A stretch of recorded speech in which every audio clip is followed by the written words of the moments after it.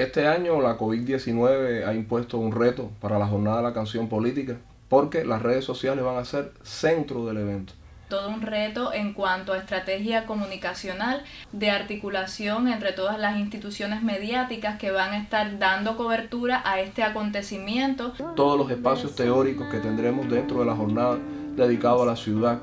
a los mismos hechos históricos del 4 de agosto, a la mujer en la trova, pues esos espacios tendrán de alguna manera todo un debate previo en las redes sociales. Ahí tendremos videos desde conciertos del grupo 4 de agosto, del propio Topete, documentales previos que se han hecho de la canción política, que en este caso vamos a estar